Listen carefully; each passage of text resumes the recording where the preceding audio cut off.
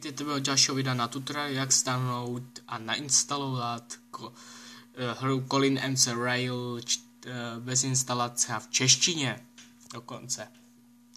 No prostě nebudeme to instalovat, to stáhneme a něco si tam ještě řekneme, jak to udělat, aby jsme dovolili hrát. Takže dáme normálně stáhnout přes ulož to, odkaz bude popisku, bla bla bla bla bla bla bla. No prostě, asi já to stáhnu, píšete kód, ale já to nechci stahovat. No, potom normálně si to najdeme v stažených souborech, dáme pravým, otevřít programu Winner, zase, tak dělám každé video, to už je tak prostě dáte zavřít, pokud nemáte plnou verzi, ale zdarma. Pokud nemáte Winner, tak dám odkaz v popisku, můžete si ho stáhnout a nainstalovat, je to samé jednoduché. Dokáže to i pětileté děcko, takže to dokážete i vy. Takže dáme si průvodce, prostě tady budete mít té, tu hru a té původce dokončit. Tady budete původce dokončit.